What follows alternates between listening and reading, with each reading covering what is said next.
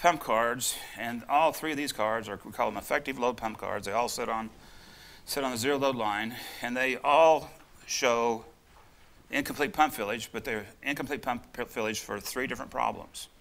Okay, the, the one on top we call a fluid pound card. Okay. The one in the middle is called a gas interference card. And the one in the bottom is called a blocked intake or flow into the pump is ch- being choked off. Okay? And that's what the, the three cards represent. Now, one of the questions I used to ask, and Paul Padilla, uh, Jim Lea loves to ask this question. He loves to say, if we have a pound fluid pound card, where's the pound? Where's the negative load when it pounds into the fluid? Okay, so just think about that. Where's the pound? You know, you don't see a pound there. Uh, so what's a, what's a fluid pound? Well, there's, there's not enough fluid flowing in from the reservoir to fill up the pump barrel on the stroke. That's the incomplete pump fillage. Um, we would call this well pumped off. The pump displacement is, is much more than the inflow. So we've got this much pump fillage, this much empty pump, okay? Uh, the pump card is way up at FO max. So that means what? That means the pump intake pressure is low. Right? That's kind of we talked about a minute ago. This is called a gas interference card. And this card right here is incompletely filled from here to here. This is wasted stroke because instead of the pump being filled with liquid, it's filled with gas under pressure. And this gas had to be pressurized and compressed until right there at point D, the pressure inside the pump was high enough to exceed the discharge pressure and knock the traveling valve off the seat. In fact, even here with this pump card with fluid pound, the plunger has to move down, moves down until finally at point D, the gas, even though it's not much gas, the gas inside the pump has been pressurized up to a point where it can exceed the discharge pressure and, and knock the traveling, traveling valve ball off so the fluid inside the pump can be displaced in the in the tubing on the downstroke. So both of these had gas compression. Even though there's not much gas here, low pressure gas, this had more compression because the pressure was higher in the gas. Now here's, here's one that's kind of interesting, that one that we just have seen.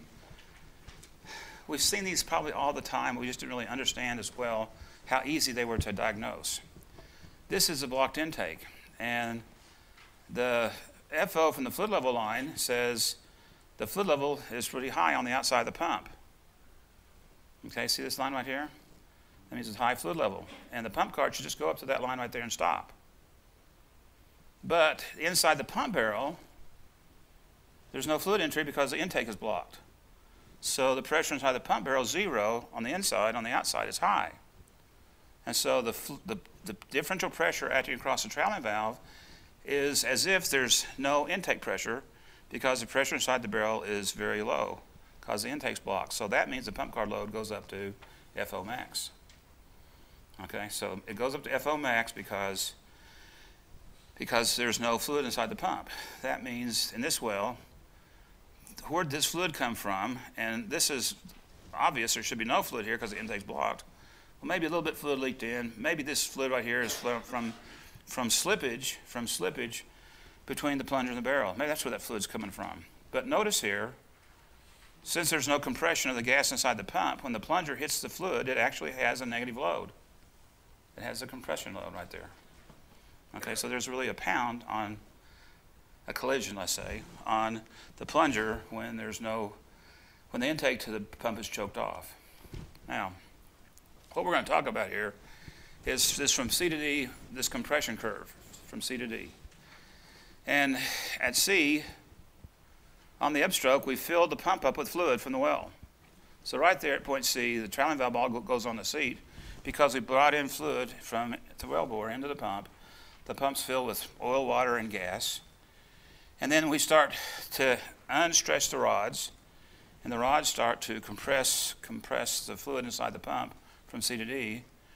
And at point D, the pressure inside the pump is high enough that it exceeds the discharge pressure. At point D, the traveling valve ball opens, and then the plunger can move through the, through the pump barrel on the downstroke. And so what we're really thinking about here on, those, on these three pump cards is what's happening from C to D. It's, it's, it's a gas compression, you know, gas compression part of the pump card. And, you know, sucker rod pumps are great gas compressors, but they, when they stop to compress the gas, they buckle rods and wear a hole in your tubing. So they can compress the gas, but you don't like the result of compressing the gas because usually it means additional rod on tubing wear. So let's look at, let's look at these three cards here and just think about them. Uh, fluid pound card, the fluid load is up at FO max from the pump card. The fluid load from the fluid level is up at FO max, which means we have low pump intake pressure. From a gas interference card, the fluid load from the pump card is at FO from the fluid level, so the fluid load from the pump card matches up with, typically, with the fluid load from the fluid level, whereas the FO max is much higher than the fluid load from the pump card. And the fluid level is much less than FO from FO max. So both of these, FO from the fluid level and FO from the pump card, are much less than FO max when you have gas interference because there's high pressure gas at the pump intake. Whereas as a choked intake, when the intake is blocked, the fluid load from the pump card is up at FO max.